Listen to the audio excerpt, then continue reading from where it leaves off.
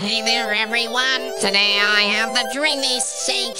Let's give it a taste test. Um, that's not actually that bad.